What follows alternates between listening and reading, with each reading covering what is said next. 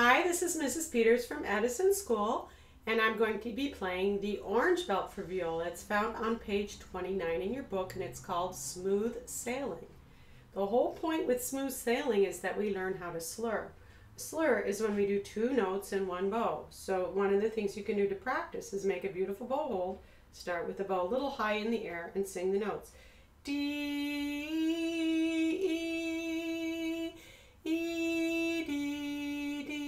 You don't want to go D, E. You want D and E in one bow. So it goes like this. D, E, E, D, D, E, F sharp, F sharp, F sharp, E, E, D, F sharp, E, D, F sharp, E, D, F sharp, D, rest. This slur is an important skill later. Um, we also have half notes in here, which are two beats long. So go ahead and listen to Smooth Sailing. One, two, here I go. Oops, one, two, on the D string.